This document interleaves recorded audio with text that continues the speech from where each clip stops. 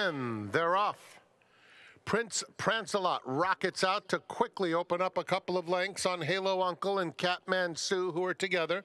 Factor Fiction fourth, three lengths off the leader. Then Mischief's Causeway and Stay on the Fence. Four lengths covers them down the backstretch, and it's Prince Prancelot getting over to the rail. Has it by a length and a half to Halo Uncle down at the rail. Fact or fiction trying to get through. And Catman Sue is up close, two lengths off the lead. Mischief's Causeway, red colors, is outside of them. And then it's Stay on the Fence. Less than three eighths to go. Prince Prancelot, a half length. Halo Uncle is in second. A length to Catman Sue outside Factor Fiction, Mischief's Causeway, and Stay on the Fence. They have a quarter of a mile to run, and Prince Prancelot maintains the lead, turning for home, hugs the rail and kicks on by a length to Halo Uncle, who's trying hard in second.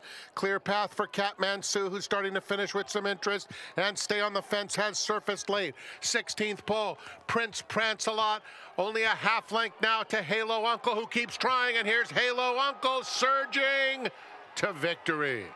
Running down Prince Prancelot, Catman Sue, and stay on the fence fourth.